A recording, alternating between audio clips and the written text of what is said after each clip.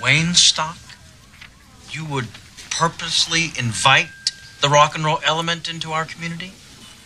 Well, what's wrong with a little entertainment? Entertainment is fine, but this, I, you know, we have lots of big acts that come through here. Ice Capades, Tiny Toons, Kenny G. Kenny G.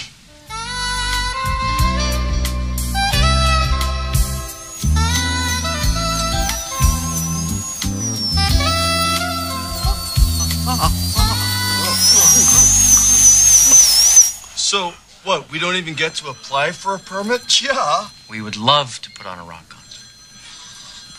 Not. Oh, yeah. Betty Joe, could we have the uh, permits for a festival, please? Yes, sir. Thank you. You'll need to fill out the uh, necessary permit applications. Permit applications. Thank you, Betty Joe. Hey. You're the guy that's on that Wayne World show.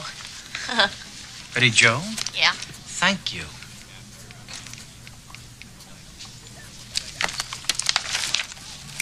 All right, then. Naturally, you'll need the necessary application for authorization, approval from the guilds and unions.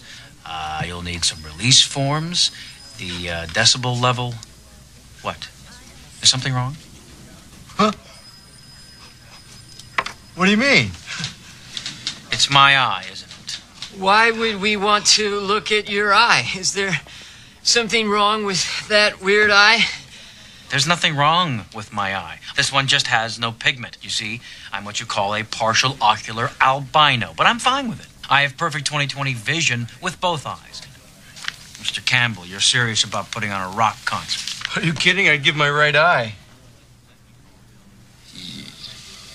You both realize there are certain jurisdictions you'll need to follow. Well, I'd like to think that I have an eye for details. Hmm. I'm assuming, of course, you have the $5,000 occupancy permit, or you wouldn't even be here. Excuse me? A baking powder? $5,000 occupancy permit? Yes, we have that, actually, yes. Piece of cake. Fine, then all forms and applications must be filled out in triplicate and returned to this office no later than 10 working days before the event with the money. Okay, well, we'll take these home, run through them with a fine tooth comb, cross the T's and dot the. lowercase j's.